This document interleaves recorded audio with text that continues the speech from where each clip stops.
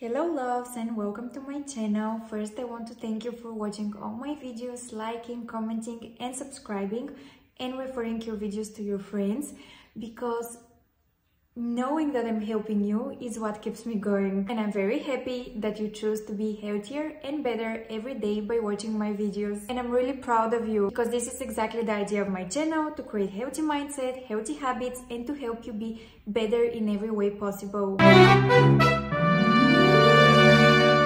Today we're going to talk about something that everybody is suffering from on a daily basis, including me, and it's stress. With a pinch, how stress can actually make you look older and make you age faster. We're going to get into topics like the main reason of stress. And at the end of the episode, I'm going to give you a protocol on how to manage stress because we cannot stop stress in general, but we can manage how we react. In this way, we are not going to let the stress affect our life. By the way, I'm drinking a very special tea here. Everybody knows about it but later in the episode I'm going to tell you why this tea is so important against stress. For some of those tips, hacks and personal stories that I'm going to share now are not a medical advice, they are not a diagnosis or a medical treatment. So if you feel the need to go to a doctor or a therapist to help you about it, there's nothing to be worrying about because there's nothing embarrassing about it. You should actually be happy that you're realizing that you have a problem and you're actually taking control over it. We all have problems and it's always better to acknowledge them than to deny them. Stress is so bad that it can be the main reason of some medical conditions like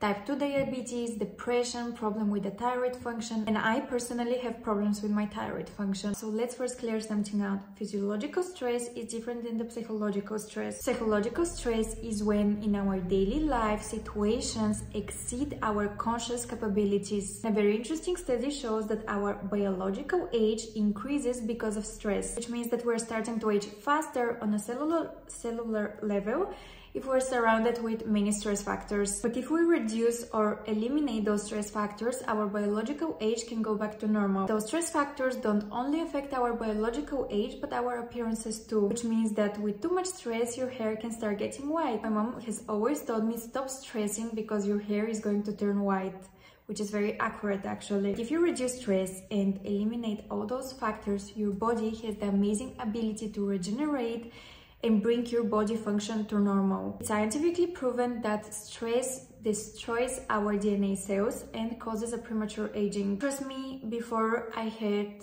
very very big problem with stress, I even had panic attacks. I was constantly I had really, really big panic attacks and I never want to go back there and I don't wish to anybody to go through it. And if you have been through it, I am sorry, we're going to work on it. And on a daily basis, I did things that helped me be calm and manage my stress levels. Things like healthy eating, doing sport, meditation practices, and healthy sleeping. And all those things lower the biological aging of our organism. We have two types of aging. So we have biological age and chronolo chronological age. Chronological age is when you have a birthday and you know you put all those candles on your birthday cake, you're 5, 10, 25.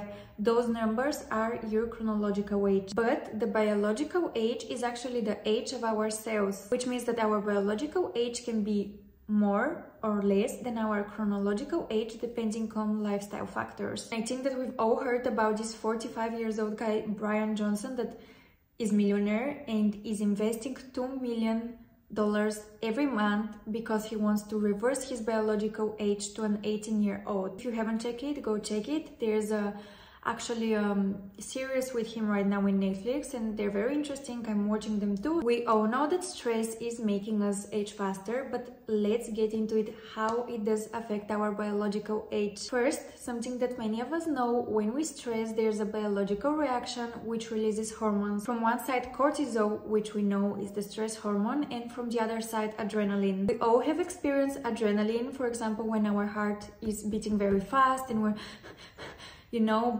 for example when you're getting on a roller coaster and you have a lot of adrenaline that's why i don't go. I hate roller coasters. I feel like i'm going to die on it. But yes this is actually what adrenaline is and this is one of the ways stress damages our body. And second we have oxidative stress. And oxidative stress is caused by every harmful substance and pollution from the environment. All those radiation chemicals like smoking for example even if you're not smoking and just the cigarette smoke is around you this causes oxidative oxidative stress and it's actually something that damages our DNA, our cells and our proteins. And this is happening when our body doesn't have enough antioxidant activity and when we don't have enough antioxidants, we don't have the capacity to neutralize harmful things that are caused from oxidative stress. That's why it's very very important to eat foods very rich in antioxidants like berries, especially blueberries, they are the richest in antioxidants. Nuts and seeds like almonds, walnuts and chia seeds. Spinach is very rich in antioxidants and veggies like broccoli, Brussels sprouts and cauliflower. And then of course fruits like apples, oranges and red grapes too. Before I forgot,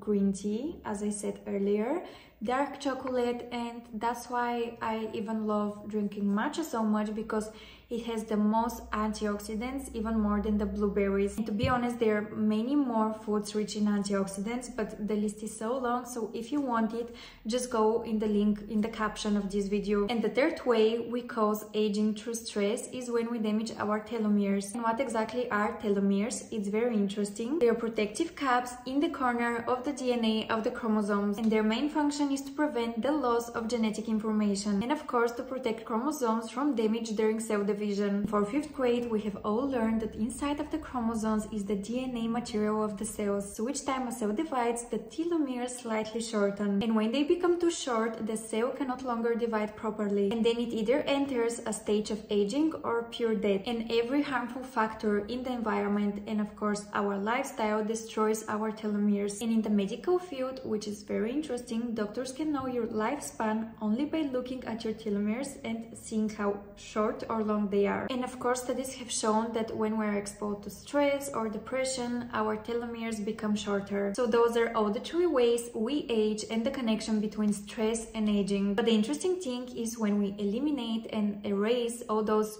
factors, stress factors from our life and body, our body has the ability to regenerate and return to normal organism function. For example, our cells can start producing more antioxidants, so like this we're going to neutralize the damage from oxidative stress, which is clinically proven. Now let's talk how we can actually reduce our biological age because lowering our biological age is equal to lowering the risk from Alzheimer, dementia, cardiovascular diseases, autoimmune metabolic diseases, and so on. And our biological age is an indicator of how healthy we are in our lifespan. Many studies show that to actually lower our biological age is through lifestyle. And Professor Denis Noble is a biologist from Oxford Oxford who has a project called Oxford Longevity Project. So he advises us to have regular physical activity, but as well, of course, to have good sleeping habits because then we can actually relax and regenerate. And how is this happening? When we're sleeping, we're in a fasting mode because we're not consuming any food. Toxins and all the food that we have consumed during the day are destroying our epithelial lining of the gastrointestinal tract. And when we sleep, our epithelial lining is actually recovering because then the cells are separating more intensive. So healthy sleep is very, very important important for our regenerational process and not only for our muscles and our stomach but when we're sleeping this is the only time that our brain actually relaxes. And to say it with short words when we sleep we actually regenerate and detoxify. So if you think oh I'm going to drink this cold pressed juice and I'm going to detoxify my body no you're detoxifying your body only when you sleep and you fast. And of course all of this that I'm saying is nothing new but we all know that sleeping habits physical activity eating good food is very very very important but of course it's hard to apply them to our daily life too. That's why i'm making those videos to educate you motivate you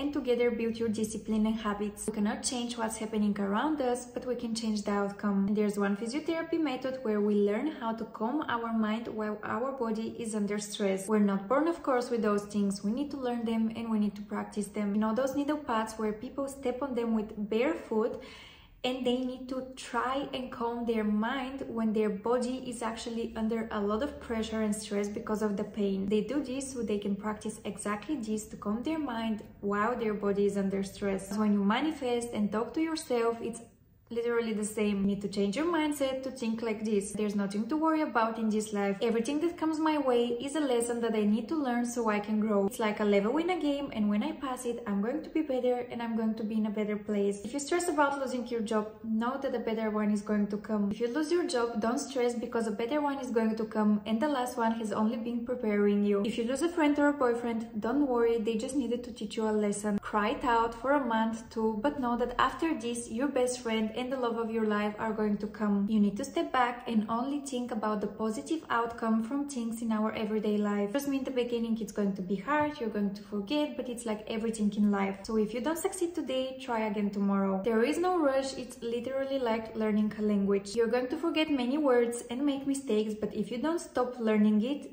at the end you're going to master it. So there are three types of stress factor, physical, physiological and mental. And the physiological stress is from things like work, kids, relationships, all those things in our everyday life. Our physical stress is when we're physically tired, cold for example, because outside is too cold and our body is in stress or when we're working out and we're stressing our body too much because we're lifting too heavy weights and this is physical stress. And mental stress, we all know what it is. The interesting thing is that the body doesn't know the difference between physiological and mental stress. So when our body tries to calm us down from those stress factors, the way of calming us are the same ways for physiological and mental stress. Even though I shared all this information until now, I want to mention that stress is not always bad for us. The short form of stress, for example, which is around several minutes, and we have a medium form of stress, which continues around several hours, and then we have a chronic stress, which is around days, weeks, and even months. And exactly this chronic stress makes our body age faster. The short form of stress is actually shown to be healthy because it builds resilience and it teaches us to be adaptable. Because as Darwin has said, the most adaptable person always wins, not the most smart or the most innovative one. So short stress is making us more adaptive in all those changing things in the modern environment. For example, sauna or ice baths or exercises with high intensity for a short amount of time can actually increase our adaptability. For example, professional athletes increase their endurance threshold with high intensity workouts. And as a result, this actually improves their functionality. And like this, they're going to be more successful when the time for the competition comes. So progressive exposure to stressors and having short stress makes us more resilient. There's one study that actually shows that people who have elevated stress levels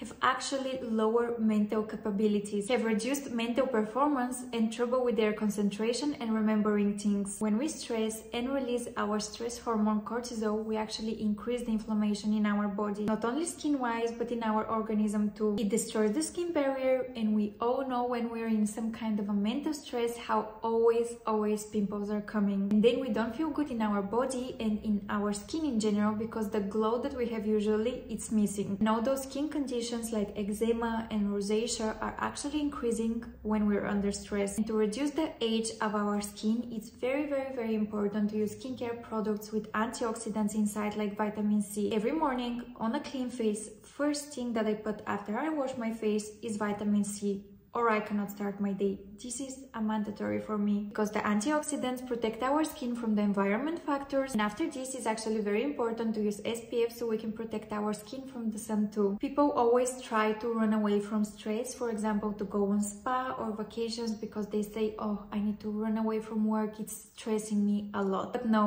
we cannot run away from it, we need to manage it ourselves. Our body and mind are sacred and everything that we need to manage stress is actually within us. We don't solve things when we try to run away from them. We actually make them a bigger problem to us. One supplement that helps us lower cortisol levels is ashwagandha. To be honest, I'm 50-50 about this supplement because many people have seen great results, but me personally, I didn't see any results. I was actually feeling very tired from it and literally I was waking up feeling tired and many people have actually seen pimples coming from ashwagandha. So it's really this kind of a situation where you need to try for yourself and see if it works for you because if it works, you're going to achieve great results with your cortisol levels because we know when we have very high levels of cortisol, we intend to store fat around the belly area. Magnesium supplements are great for relaxing your body too. Every time before going to sleep, I take two capsules. Cold showers are a great way of dealing with stress too because when you put very cold water on your body, your stress things, the things that you're stressing about are the last thing you're going to think about. People that shower with cold water have amazing skin because the blood supply increases. People that do sports, especially low impact workouts, have shown to have lower stress levels and meditation and breathing exercises help too. You don't need to do a one hour meditation every day, but 10 minute meditation every day is more than enough. One of my favorite people to listen to is Huberman and he says make two fast inhales from the nose and then followed by a long exhale from the mouth and this you need to repeat for five times. So